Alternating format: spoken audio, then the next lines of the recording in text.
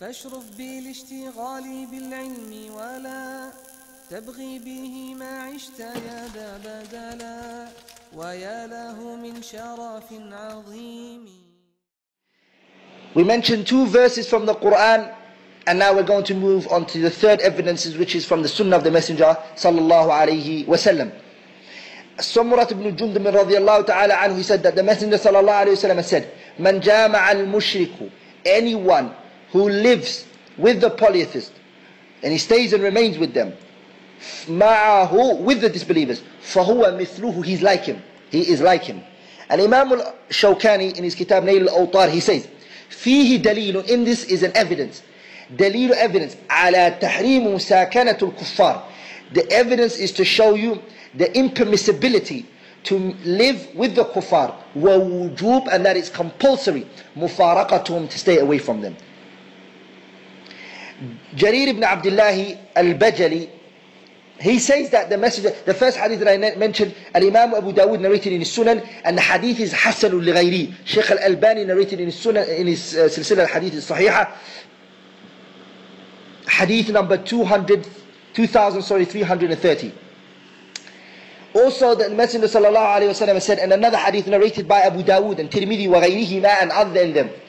Also, Sheikh Muhammad Nasir al-Din al-Albani خرج الحديث في إرواء الغليل he brought the hadith in إرواء الغليل uh, number 1207 that the messenger صلى الله عليه وسلم said أنا بريء I am free من كل مسلم in every Muslim يقيم بين أظهر المشركين who remains in the, in the, uh, in the diyar and the land of the disbelievers قالوا يا رسول الله the companions they said oh messenger of Allah لما why then he said لا ترى ناريهما لا ترى نارهما that their fire is not able to be seen so the believer has to be of a distance where the fire of the disbeliever and the believer's fire their fire both of them cannot see each other that's how far he should be from them and if he doesn't the messenger said I am free from him الإمام ابن أثير in his كتاب النهاية he says أي يلزم المسلم ويجب عليه أن يباعد منزله عن منزل المشرك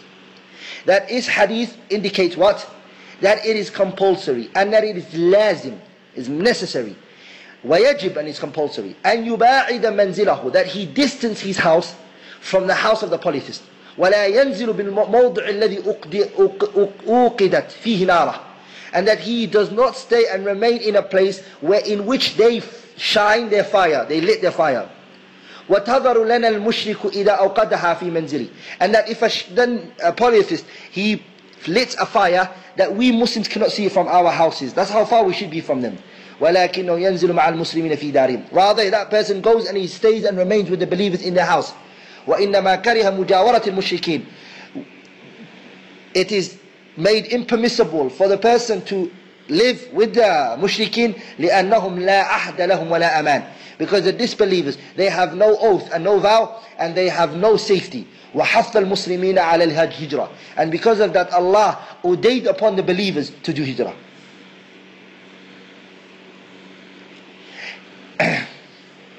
Jarir ibn Abdullah radiallahu ta'ala an as Imam al-Nasa'i narrated in his Sunan also Sheikh Nasir narrated this hadith in his Irwa al-Ghalil the fifth volume page 31 that the mess that, that Jarir ibn Abdullah said bay'atu I took a pledge of allegiance مع رسول الله with the messenger صلى الله عليه وسلم على إقامة الصلاة that I'm going to establish the salah وإيتاء الزكاة and that I will give the zakat والنصح لكل مسلم that I will advise all believers وعلى فراق المشرك and that I will free myself from the hypocrite the polytheist that I will free myself from the polytheist.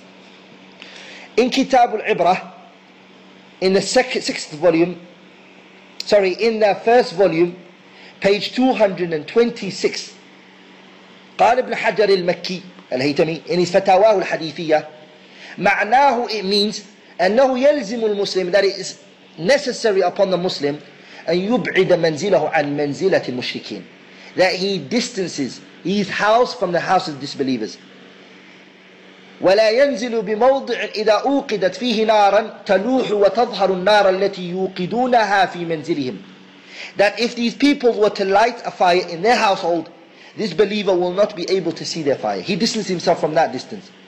لأن النارين متى تراءيا because when these two fires they see each other كان معدودا منهم وقد تقرر أن الهجرة واجبة من دار الحرب بشروطها واسناد الترائي إلى النار مجاز من قولهم داري تنظر إلى دار فلان أي تقابلها ووجه المناسبة بين العلة والمعلول في إقامتهم بينهم تكثير سوادهم He says, Imam, that the two fires are not seen. And he says this is a majaz, uh, it's a majaz. And there's a قول of the ulama whether there's majaz in the kitab and the sunnah.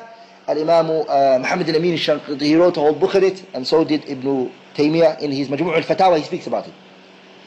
But the mahallul istishad is there's a here and there's a ma'lul. There is a reason why the Messenger ﷺ prohibited us from staying away from the dar, to stay, sorry, to stay away from the dar of the kuffar. Al-Imam al-Haytami he says, why? Takthiru sawadihim. That you will enlarge in their number. So you staying with them, it will give them more of a number. So some people actually assume that it's the only reason is because you will be affected by them. That's no doubt a reason. But you will also increase their number by being with them.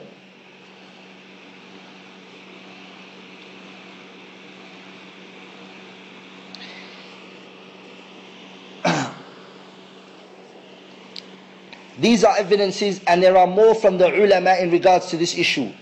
Inshallah, I will move to the second point, which is what is regarded as a Dar al-Islam and what is regarded as a Dar al-Kufr.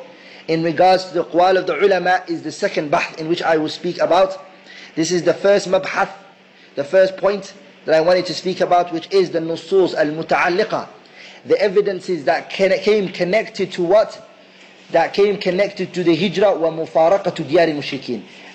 In regards to the hijrah and staying away from the dar of the mushrikeen or the dar of shirk sorry wal mushrikeen. The, the disbelievers land and then and they themselves. Now.